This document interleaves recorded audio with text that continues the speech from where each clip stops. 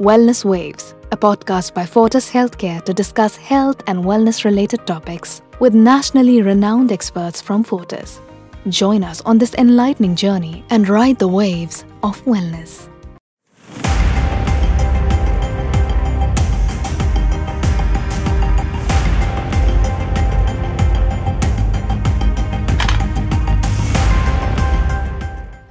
Can you remember the last time that you fell ill? Even if it was just the flu. It's the hardest to bear, and we're always looking for comfort as we get better. Now imagine yourself handling or battling a disease. What if it was not an adult handling a disease? What if it was a child? And that is what we're going to discuss today. Hello and welcome to Beyond Hemoglobin, the Blood Health podcast under the Wellness Waves banner at Fortis Healthcare. And today's episode is on childhood cancers. With me today is Dr. Vikas Dua, who is the Principal Director and Head of the Department of Pediatric Hematology, Oncology and Bone Marrow Transplant at Fortis Memorial Research Institute, Gurugram. Welcome to uh, this episode of the podcast, Dr. Dua. Thank you, Nikita. So, Dr. Dua, we are here today to talk about pediatric cancers. And the interesting thing is that people only think of cancers in adults. But here we are, and I think the incidence of cancers in children is also high. So, can you help us start off this conversation by shedding some light on that? I think this is a right time to talk about pediatric cancers. The reason is 15th February is celebrated as International Childhood Cancer Day. When I say International Childhood Cancer Day, I'm talking about cancers happening in pediatric age group, happening in children who are less than 18 years of age. Whenever we talk about cancers, we feel that it is a disease of growing age. That holds true, but that doesn't mean that cancer doesn't happen in pediatric age group. So if you ask me, 3 to 5% of all cancers happen in pediatric age group, which simply means let's say 100 patients are taking treatment in a cancer hospital. Out of those 100, 3 to 5 would be of pediatric age group, and it is a reality, it's a truth that children can also have cancers. Thank you so much for uh, elucidating on that, uh, Dr. Dua. So, tell me, what are broadly the kinds of cancers that we see in children? Okay, so the most common cancer which we as pediatric oncologists see in our practice is blood cancer. The technical name for that is acute leukemia. That's the most common cancer which many of the doctors know. But the second most common cancer, which many really don't know of, is brain tumor. So the most common is blood cancer, second most common is brain tumors, third is cancer of glands, which is called lymphoma. Then you can have cancer in the kidney called Wilms tumor, you can have a cancer in the liver that's called hepatoblastoma. In a similar way, you can have cancer involving the bones, muscles, which are called sarcomas. People need to understand that cancer do happen in pediatric age group and practically can involve any part of the body. Okay, but while that is a scary thought, I think the whole point of this conversation is to uh, make people aware so that they don't, uh, you know, uh, have the kind of fear that they do. So information and knowledge always, you know, uh, uh, gives power to uh, an individual to be able to overcome something. So to carry on with our conversation, Dr. Dua, since you're saying that the most common cancer is blood cancer. Uh, can we talk about the kind of signs and symptoms that uh, probably, because it's the parents who would be watching out for this, what do they need to be mindful of? As we are talking about blood cancer, we need to understand there are three very important component of blood, which is red cell, white cell, and platelets. So in blood cancer, your hemoglobin will go down, your white cells can increase or decrease, and your platelets drop so, for a layman, he or she has to understand that if your hemoglobin goes down, you may feel weak, fatigued, tired. As all of us have got a hemoglobin which is ranging between 14 to 18. So, if, if a person like you or me gets a hemoglobin or his or her hemoglobin drops to 6, we'll feel, we'll feel weak, we'll feel fatigued, we'll feel tired. So, that's one of the symptoms of blood cancer. If your white cells increase or your white cell decrease, then you are at risk of infections. So patients of blood cancer sometimes present to us with unexplained fever going on. Then third component of blood, an important component of blood is platelets. So platelets, if platelets drop, then you can bleed because platelets help somebody to maintain his or her hemostasis, which simply means somebody who has got low platelets will have a high tendency to bleed, which all of us know with the experience with dengue fever. Okay, so uh, that's very interesting. I think uh, the symptoms that you've talked about are predominantly blood cancer. But so there, uh, before this, you mentioned the various different kinds of cancers that can happen. Are there any common symptoms that that parents can be cognizant of? So, if you're talking about blood cancer, so these are the symptoms which need a parent to be aware of. Mm-hmm. But the second most common cancer, the symptoms are very different because the second most common cancer is brain tumor. A child can have unexplained headache, mm. can have early morning vomiting, mm-hmm. can throw a fit, can have weakness of one or both sides of the body. Mm-hmm. So, if a patient has a problem like this, the patient should be taken to a neurologist or a pediatrician so that a scan imaging of the brain can be done and whether he or she is been suffering from brain tumor that can be picked up. Okay so that would then mean that in every cancer every pediatric cancer that that we have the signs and symptoms would be uh, different. Absolutely. If somebody has got a liver cancer the symptoms would be different, different. somebody has a kidney absolutely. cancer the symptoms would be different. If any other organ is been involved. So according to the organ involvement the patient would manifest symptoms so, on that note, I think what I would immediately uh, like to tell our viewers before we move on to our next questions is that with Dr. Dua, we have done a series of videos um, uh, which talk about the different kinds of pediatric cancers that we have and what are the signs and symptoms that you should watch out uh, for. So, do visit our uh, YouTube playlist uh, that we have for pediatric cancers and you can get your questions answered uh, there. But let's come back to the to uh, the current uh, discussion that we are having, uh, Dr. Dua. So, when we're looking at diagnosis, how are these cancers? How do we diagnose them? All right, so as the most common cancer in pediatric age group is acute lymphoblastic leukemia or acute myeloid leukemia, which are two different varieties of blood cancer. The first and the foremost thing to diagnose is to do a simple test, a simple blood test called complete hemogram hemogram or you can call it CBC. Through a CBC report, you can tell whether the patient has got a low hemoglobin, low platelet count, a high white cell count, or a low white cell count. And in case you are suspicious by looking at a CBC report, there is a suspicion that the patient may have a blood cancer, then a bone marrow test is warranted. So these two things are the bare minimum things which are needed to diagnose the most common cancer which happens in pediatric age group.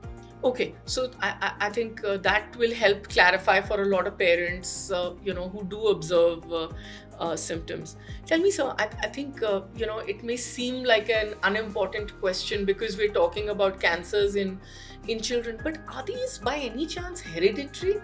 So people feel, there is a misconception, I would say, that childhood cancers are hereditary, but trust me, there is no correlation with the genetic problem in blood disorder.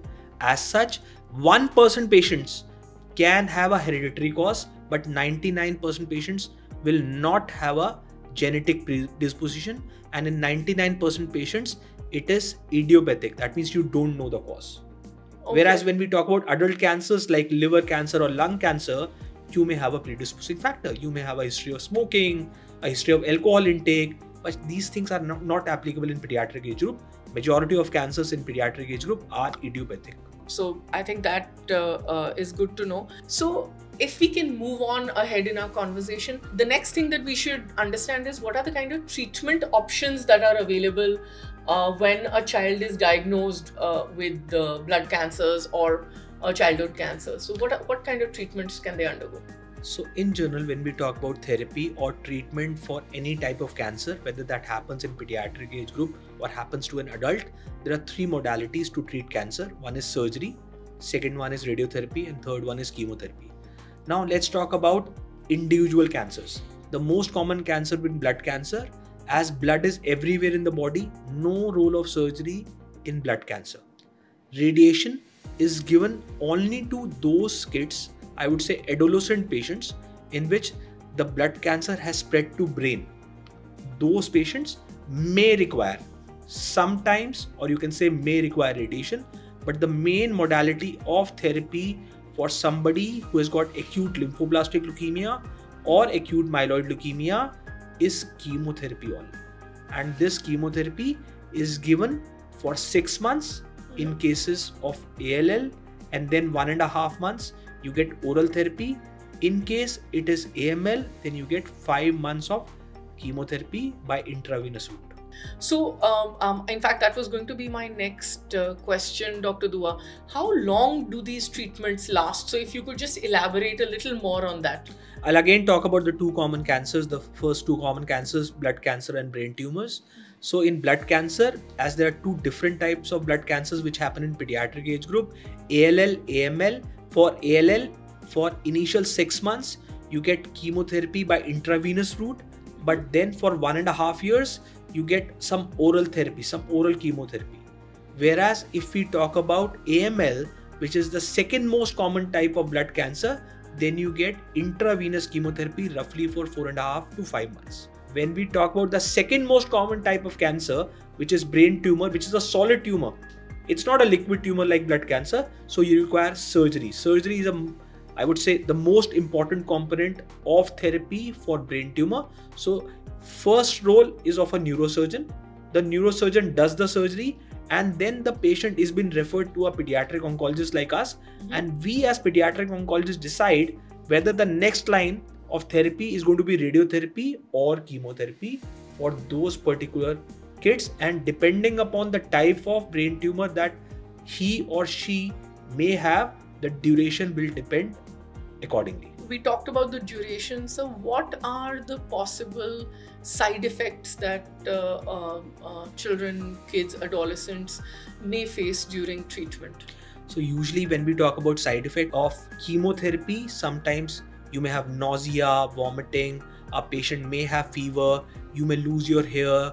You may have uh, rarely you may have side effects pertaining to kidney, liver, but the point which i would like to stress upon i would like you people the viewers to know is that majority of these side effects are temporary and are easily manageable. So that's very heartening to know dr dua. So that brings me to asking you know what is the prognosis uh, when we talk about childhood cancers? That's again a very important uh, thing which everybody needs to understand and that is pediatric cancers have got high cure rates so these cancers are not like adult cancers. These cancers are usually not very aggressive. And in general, as such, if I have to give you an answer, I would say there is a 80 to 90% chance that, that the kid will be well after the therapy. So, like you said, that you know these cancers are not as aggressive as the ones that uh, you know appear in adults. However, you are also dealing with a child here. So in in such a scenario what would be the most appropriate uh, way in which we can tell a child that you know uh, they have been diagnosed with cancer? Because that's something that you would be dealing with on a on a on a daily basis. See those kids who are more than 10 years of age i would say those who come in the adolescent age group it is important to sit with them make them understand that yes they have got a cancer but that cancer has got high cure rates. Mm-hmm. Having said that, it is important for us to sit with the family, to sit with the parents, the caregivers, and the child and make him understand that he has got a problem, he has got a cancer. At the same time, we have to ensure him that there is a very high cure rate and he or she will be fine after the therapy because if you don't do that that adolescent child will go to google and will find out that he or she is been suffering from cancer so it's important to disclose them in a way that they they understand the fact that they've been suffering from something but that thing is curable okay but if somebody is less than 10 years of age i don't think these kids are going to go on google will search for ca- childhood cancer so you can just treat them the way you treat any other child. Okay. No need to discuss about cancer for somebody who's less than 10 years of age. That's what I, I want to say. Okay, but sir, it's very interesting because when you say less than ten years of age, and today we are living in a in a in a time when you know uh, even kids use tablets and phones. Absolutely. So the their access to getting information is is very high, and when a child is suffering from a disease, and you know we spoke about side effects earlier on. So if a child's hair is falling out, I mean, the child is going to get curious. So so how would you or do you have situations where you are talking to kids that are less than 10 years uh, of age and, and how do you deal with that Yeah, I think that's another important question. Usually, these kids who are less than 10 years of age, even if they use the social media, they will not understand what, what, what childhood cancer is or what ALL is, what AML is. But still, if somebody is finding it difficult to cope up, then we take the help of a, a social worker or a psychologist who help us in situation like this. Okay perfect. So even uh, you know we've spoken about the psychological uh, aspect. What about nutrition? Is that something that you that you nutrition is a very important component. So there are a couple of studies which have been done and have shown that if you maintain a good nutrition if you maintain a good balanced diet for these kids the outcomes are better. So it's important for the families to understand that they have to give balanced diet. The child should not eat something from outside. Whatever they make at home should be properly cooked. No raw food to be given to a child. And somebody who is cooking who is who is the primary caregiver has to wash his or her hands multiple times before he or she cooks the food or make the child feed okay so um, i think uh, that's that's great. So but you know once the treatment is finished you know you have guided um, the treatment uh, duration has has gone by the child is now uh, cancer free uh, uh, you know so what kind of advice would you give them handling the post cancer uh, phase? Uh, what are things that they should be mindful of the parents especially. So during the treatment we need to have a multidisciplinary approach. We need to involve the dietitian. We need to involve the social workers. We need to involve the psychologist. During the time the child is undergoing chemotherapy or radiotherapy. That's an important thing which we need to understand. When the treatment is over we also need to understand the fact that there is a bleak chance of a relapse. So they have to come to the doctor on a regular basis so that certain tests can be performed and in case there is a relapse that can be picked up early and appropriate therapy can be started can be started. So so that um, uh, keeping regular follow-ups with the Is uh, very treating uh, yeah. doctor is is crucial. But you know like you said multidisciplinary approach to ensure the child's well-being whether during or after it makes me think so do we have support groups? I mean for um, you know children that have uh, battled with cancers and have come out do we have support we, groups? we do have we do have a support group. We, we do have certain families who have gone through this battle in the past and they come and they help our patients who are struggling at the present moment of time Okay, okay. Um, uh, also good to know. So one of the last things that I can possibly think of, which I, I did want to ask is, you know, um, while uh, you're a clinician, you offer the kind of treatment that you do. Are there any complementary or alternative therapies that can also be looked at uh, while treatment is on or post treatment? see we we are allopathic doctors Yes. we don't advise them any alternative therapy because as we speak in february 2024 the only cure for a pediatric malignancy is either by a surgery or radiotherapy or chemotherapy and nothing else Sure, sure. So, okay, keeping that in mind, uh, I think the the some of the questions that I had in mind, I've asked. Uh, any particular point that you think I may have missed and you may want to focus on? yeah so there there are a couple of new things which have come up Sure. so if somebody is not doing well so not each and every patient would would do well with the standard therapy which is available like if we talk about blood cancer the patient is being given chemotherapy unfortunately if he or she relapses Mhm. then he or she needs a bone marrow transplant that's a very important thing which all of us need to understand even if you relapse even if a pediatric cancer relapses Mhm. that can still be cured provided you are being taken care you are in a center which has got all the facilities which has got a pediatric oncologist a good setup and a multidisciplinary team is available in case somebody relapses even after a transplant, let's say you, you talk about a blood cancer, uh, you, you talk about acute lymphoblastic leukemia, you have undergone chemotherapy, your disease has come back, your child undergoes a transplant, and he or she still has another relapse, which does happen in 5 to 7% patients. Then you have newer therapies, you have therapies like CAR T cell, which can be done to a patient and he or she can still be cured. So these are new things which have come up in the country, and with that, you can still achieve good outcomes, I would say reasonably good outcomes in relapse refractory settings. Okay, that's great. Um, I think uh, we've, we've uh, talked a lot about uh, and discussed today about uh, pediatric uh, and or childhood cancers. Um, I think we will take up uh, individual cancers and the different kinds of treatments in our subsequent episodes, sure. sirs. But thank you so much for joining us today. And I would like to inform all our viewers that uh, we have uh, uh, several videos that Dr. Vikas Dua has done uh, uh, where he talks about pediatric cancers. So I would uh, recommend that you go to our YouTube channel and check these out or log into our website, which is fortishealthcare.com. Thank you so much for joining us today. Thank you very much. Thank you. Thank you.